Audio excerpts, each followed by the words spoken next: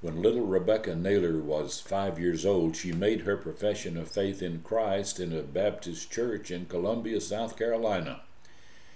Eight years later, when she was 13, she walked down the aisle again and she said, God is calling me to be a medical missionary and I want to go to India and build a medical school.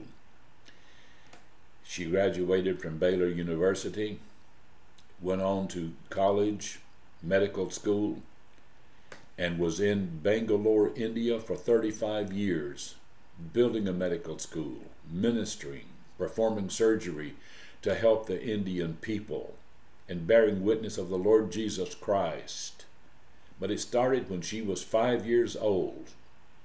We look at little children and say, oh, they're just too young, and they make a profession of faith. And we say, oh, isn't that sweet? But they're just so young, they don't understand what they're doing.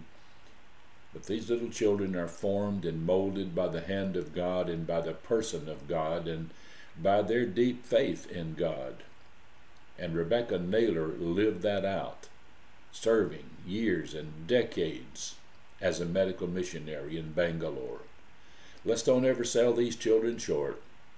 Let's let them make their profession of faith in Christ at any age and encourage them and comfort them and sustain them because as God has his hand upon them, he will use them and mold them and they will become choice servants. Thanks for watching Don Howell today's Light and Love from Liberty.